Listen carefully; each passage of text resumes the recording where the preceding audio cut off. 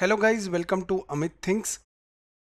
In this video we will learn how to download and install the current Eclipse version. So to install it we don't need Java. The current Eclipse version comes pre-installed with Java. Let us start.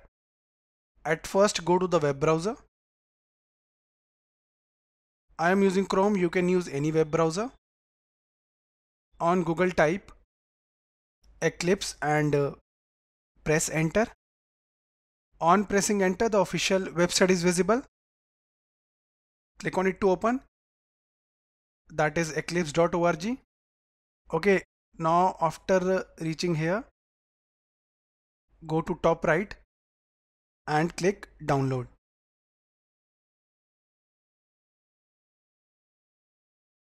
Now go below. The current version is visible here for 64-bit Windows 10 as well as Windows 11 operating system. Click on it.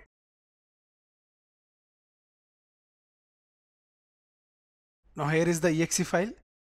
It's written JRE because it includes JRE as well as JDK. That means the complete Java. Click download.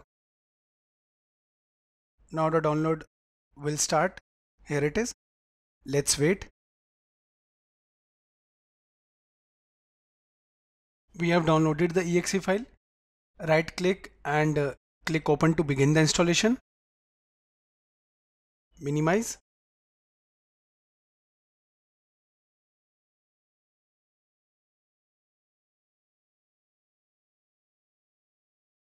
The installation started.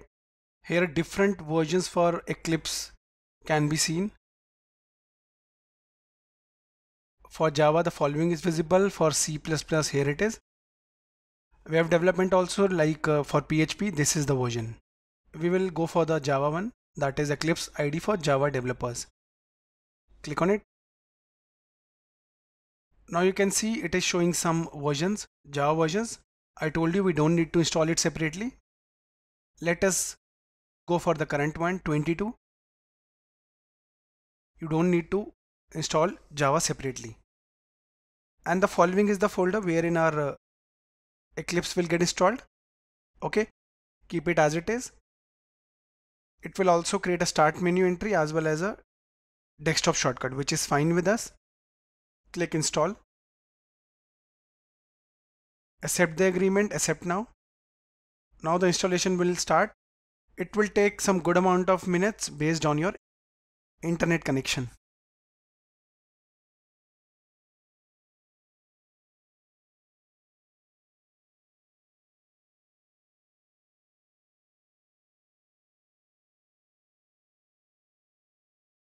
We have installed Eclipse uh, successfully. You can see the desktop shortcut also. To open it, you can directly click here or you can also click on launch. With that, you can also go to start and type Eclipse. Now it will be visible here. I'll click launch.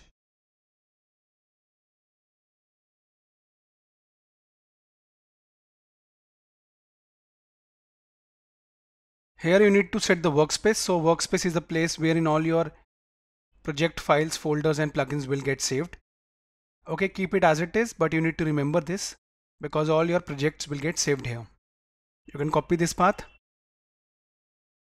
Okay, also keep it as default so that uh, whenever you will be creating a new project, it won't ask you again and again. Click launch.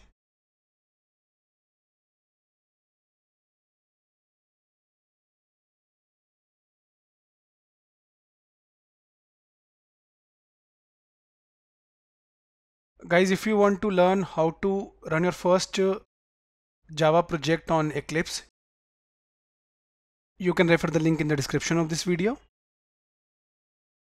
Thank you for watching the video